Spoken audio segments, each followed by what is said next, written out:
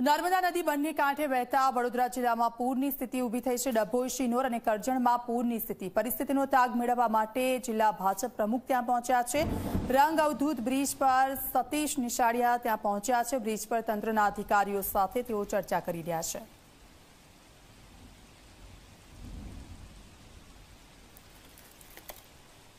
નર્મદા નદી બે કાંઠે વહેતી થતાં અનેક ગામોમાં નર્મદા નદીના પાણી ઘૂસ્યા છે, જેના કારણે પંદરસોથી વધારે લોકોને સુરક્ષિત સ્થળે સ્થળાંતર કરવામાં આવ્યા છે. જ્યારે હજુ પણ વ્યાસ બેટ પર બાર જેટલા લોકો ફસાયેલા છે, જેમને રેસ્ક્યુ કરવા માટે સતત તંત્રના જે પ્રયાસો છે, તે ચાલી રહ્યા છે. કોસ્ટગાર્ડનું જે હેલિકોપ્ટર છે, તે પણ અહીંયા આવવા માટે નીકળ્યું હતું, પરંતુ ખરાબ હવામાનના કારણે તેને સુરત ખાતે ત્યાં રોકી દેવામાં આવ્યું છે. અત્યારે આ આખા વિસ્તારની મુલાકાત લેવા માટે ખુદ જિલ્લા ભાજપ પ્રમુખ સતીશ સિસાડિયા તેમની ટીમ સાથે અહીંયા આવ્યા છે. તેમની સાથે વાત કરીશું.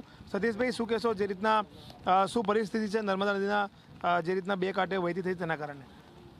મધ્યપ્રદેશમાં ખૂબ વધુ વરસાદને કારણે નર્મદા ડેમમાંથી સરકારને પાણી છોડવાની ફરજ પડી છે. ત્યારે કરજણસિંહનો ડભોઈના નદી કિનારાના ગામોની અંદરથી સરકાર દ્વારા અને તંત્ર દ્વારા સતત ગઈકાલ રાતના બધા જ અધિકારીઓ અહીંયા રોકાઈને જે લોકો પાણીની અંદર ફસાયા હતા, એને સુરક્ષિત જગ્યાએ મોકલવાના પ્રયત્નો કરીને બધાને જ લોકોને બહાર કાઢ્યા છે. પરંતુ ફક્ત બાર લોકો વ્યાસપીઠ પર જે ફસાયા છે, એના માટે પણ અમારા કલેક્ટરશ્રી જોડે સતત વાત થતાં એ એમના માટે પણ હેલિકોપ્ટર મંગાયું છે.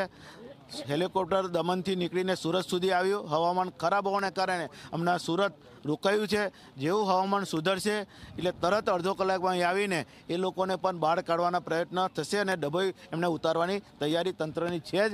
એટલે જેટલા લોકો કરજણસિંહનો ડભોઈની અંદર હતા, નદી કિનારાના ગામોના, એ બધાને જ સુરક્ષિત રીતે ખસેડ્યા છે.